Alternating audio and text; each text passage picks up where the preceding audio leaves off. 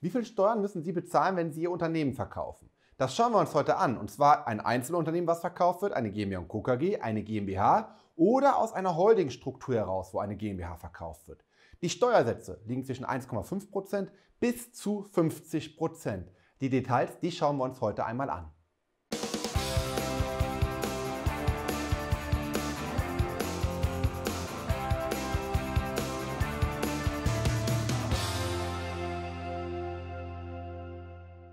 Mein Name ist Christoph Jun, ich bin Steuerberater in Köln und unsere Kanzlei hat sich spezialisiert auf das Unternehmenssteuerrecht, insbesondere auf die Besteuerung von Kapitalgesellschaften. Und ich habe für Sie dabei heute eine kleine Präsentation, um genau zu sein, eine Folie, wo ich Ihnen dargestellt habe, wie viel Steuern Sie zahlen müssen, wenn Sie ein Unternehmen verkaufen. 1, 2, 3 und 4. Im ersten Modell sind Sie der Veräußerer und Sie verkaufen ein Einzelunternehmen. Dann müssen Sie natürlich den kompletten Gewinn aus dem kompletten Verkauf des Einzelunternehmens versteuern. Der Steuersatz ist Ihr persönlicher Steuersatz theoretisch 0 bis hoch zu 45 Prozent. Ähm, der wird wahrscheinlich bei 42 Prozent liegen, weil Sie in dem Jahr ohnehin andere Einkünfte haben und der Grenzsteuersatz, also der Veräußerungsgewinn, der mit dem Grenzsteuersatz on top kommt, der wird wahrscheinlich bei 42 Prozent liegen. Warum 42 Prozent? Weil Sie einen Spitzensteuersatz haben von 42 Prozent immer dann, wenn Sie schon 54.000 Euro andere Einkünfte haben, die den niedrigen Steuersatz aufgesaugt haben, oder bei zusammenveranlagten 108.000 Euro haben an anderen Einkünften, die diesen niedrigen Steuersatz aufgesaugt haben. Dann kommt quasi der Veräußerungsgewinn on top und dann sind wir automatisch bei 42 Prozent hoch bis zu einer Viertelmillion bei Einzelveranlagten. Dann steigt es dann nochmal an von 42 hoch auf 45. Und bei Zusammenveranlagten geht es bei einer halben Million hoch von 42 auf 45 Prozent.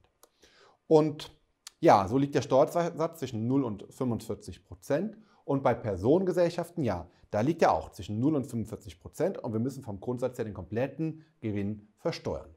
Dazu muss man wissen, Gewinn ist ja nicht das, was Sie bezahlt bekommen, sondern sie haben einen Veräußerungspreis, ähm, ich sage jetzt mal von 200 Geldeinheiten. 100 Geldeinheiten ist ihr Buchwert in der Gesellschaft, also ihr Eigenkapital. Dann müssen sie noch einen Gewinn von 100 Geldeinheiten versteuern. Mit dem Steuersatz 0 bis 45 Prozent. Und so müssen die 100 Euro vom Grundsatz her versteuert werden. Jetzt gibt es noch einen kleinen Freibetrag, und zwar in den beiden Bereichen. Und der Freibetrag ist 45.000 Euro. Aber wenn der Gewinn in der Summe 131.000 Euro übersteigt, dann reduziert sich der Freibetrag. Also das heißt, wenn Sie 100.000 Euro Gewinn haben, kann ich die 45.000 Euro komplett abziehen und muss nur noch 55 versteuern. Wenn ich aber mehr Gewinn habe, bis 131 ist okay, aber wenn ich mehr Gewinn habe, sagen wir mal 132.000 Gewinne, dann habe ich nicht mehr 45.000 Freibetrag, sondern von 132 könnte ich nur noch 44.000 Freibetrag abziehen und so weiter und so fort. Und wenn ich bei 181 wäre, ja, dann wäre mein Freibetrag komplett aufgebraucht. Ähm, ich könnte nicht mehr in Anspruch genommen, der ist sogenannt, der, der ist abgeschmolzen, nennen wir Steuerrechtler das. Das heißt, ich bekomme gar keinen Freibetrag mehr, wenn ich über 181.000 Gewinn im Einzelunternehmen bin. Das ist ein kleiner Vorteil, 45.000 Freibetrag für kleine Veräußerungsgewinne von Einzelunternehmen und Personengesellschaften. Ähm, zweiter Vorteil ist, ich zahle darauf keine Gewerbesteuer und ja, dritter Vorteil ist, ich bekomme vielleicht die Fünftelregelung. Fünftelregelung kennen Sie vielleicht, wenn Sie schon mal eine Abfindung bekommen haben. Wenn Sie einen sehr großen Geldbetrag auf einmal ausgezahlt bekommen, können Sie Fünftelregelung in Anspruch nehmen.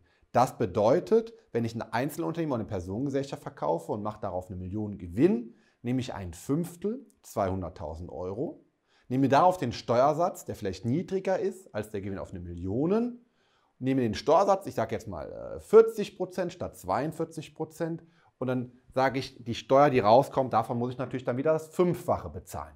Meine Erfahrung, das hört sich immer super gut an. In der Praxis bei unseren Mandanten, die Unternehmen verkaufen, der Gewinn ist so hoch, die Fünftelregelung bringt da gar nichts.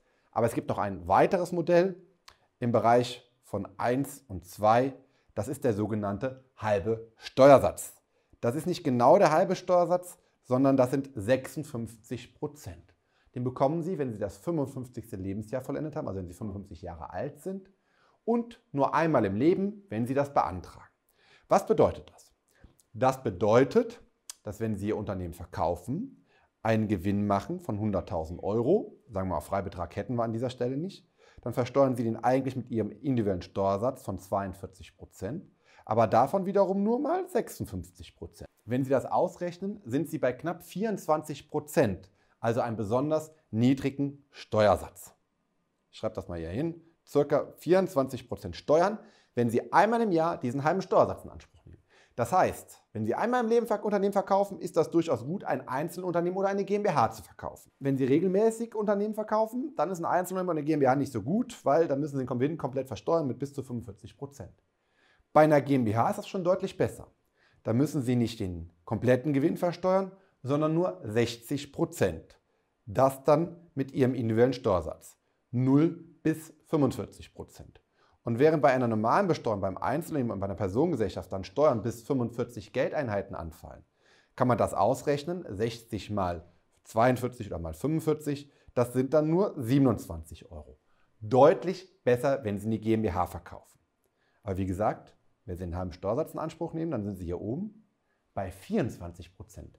Das ist im Bereich von Einzel- und Personengesellschaft natürlich das Allerbeste. Aber wie gesagt, nur einmal im Leben. Ja, bei der GmbH bekommen Sie es auf jede GmbH. Bei einer GmbH bekommen Sie auch noch einen Freibetrag von 9.000 Euro. Ist nicht ganz so viel wie bei einer Personengesellschaft, da sind es 45. Ja. Und das Allerbeste, worauf ich an dieser Stelle hinaus möchte, ist, wenn Sie eine Holdingstruktur haben. Das heißt, wenn Sie eine Holding haben und die Holding GmbH verkauft die Tochterkapitalgesellschaft, dann zahlen Sie nicht 27 Prozent, sondern müssen nur 5 Prozent versteuern mit dem GmbH-Steuersatz von 30 Prozent sodass die Gesamtbelastung 1,50 Euro ist in der Holding. Dann bleibt die Holding bei Ihnen zurück und die Holding hat quasi so einen kleinen Geldsack. Das heißt, das Geld ist in der Holding und wenn Sie es irgendwann ausschütten, ja, dann fallen leider nochmal 25% an. Aber erstmal habe ich nur 25% Steuern gezahlt. Ganz großer Vorteil beim Verkauf von durch Holdingstrukturen. Jetzt überlegen Sie Ihre Struktur, schauen Sie sich die an und überlegen Sie, was ist für Sie die beste Rechtsform. Ich sage Ihnen, Variante 3, die GmbH-Struktur ist meistens nicht so gut. Warum? Sie zahlen zwar relativ wenig Steuern, nur 27 Euro, aber der Erwerber kann den Kaufpreis nicht abschreiben. Der findet das eigentlich nicht so gut. Eventuell will der den Kaufpreis dann drücken, wenn er nicht abschreiben kann. Das Problem, dass der Erwerber nicht abschreiben kann, habe ich Ihnen hier zusammengefasst in zwei Videos. Das eine ist Asset Deal und Share Deal, weil der Erwerber möchte dann von Ihnen keine GmbH kaufen, sondern nur die einzelnen Wirtschaftsgüter per Asset Deal. Und das andere ist ein Kauf, wie der Erwerber dann doch die Unternehmensstruktur beim Kauf einer GmbH optimieren kann. Schauen Sie sich diese beiden Videos gerne einmal an. Ähm, damit wäre quasi diese Struktur besprochen. Bleibt noch diese Struktur. Diese Struktur kann ich Ihnen empfehlen, wenn Sie ein Unternehmen haben und einmal im Leben dieses Einzelunternehmen oder die Personengesellschaft verkaufen wollen. Ein sehr niedriger Steuersatz von nur 24 Prozent und der Erwerber hat den großen Vorteil, er kann abschreiben und wenn ich ein Unternehmen kaufe und es abschreiben kann, bekomme ich in den nächsten 5 bis 15 Jahren die Hälfte vom Finanzamt wieder. Und da kann es durchaus sinnvoll sein, dass Sie aus Ihrer GmbH per Formwechsel eine GmbH und Co. KG machen. Dann ist das für Sie nicht so der große Vorteil. Sie kommen jetzt hier von 27 runter auf 24, okay. Aber der Erwerber kann natürlich den Kauf eines Einzelunternehmens abschreiben oder einer GmbH und Co. KG. Dazu habe ich auch ein Video gemacht wie Sie aus der GmbH per Formwechsel in eine GmbH und Co. KG kommen. Denken Sie dran, wenn Sie die Umwandlung machen, haben Sie fünf Jahre Sperrfrist. Also die Umwandlung der GmbH in die GmbH und Co. KG müssen Sie fünf Jahre im Voraus machen. So, alternativ kann aber sein, dass Sie sagen, Herr Jun, ich möchte von meiner Personengesellschaft in eine GmbH und von der GmbH danach in eine Holdingstruktur. Warum? Weil dann muss ich ja nur 1,5% Steuern zahlen.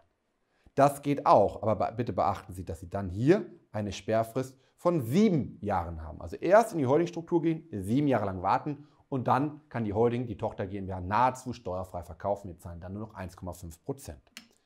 Ja, das war mal ein Überblick zum Unternehmensverkauf. Das hilft nicht nur Ihnen als Verkäufer, sondern natürlich dem Erwerber auch, weil beim Unternehmensverkauf, wir beraten da ja sehr viel zu, ist es immer so, Sie müssen beide Seiten verstehen. Der Verkäufer muss den Käufer verstehen und der Käufer wiederum muss den Verkäufer verstehen, weil nur so schaffen Sie eine Gesamtlösung, die beiden gerecht wird.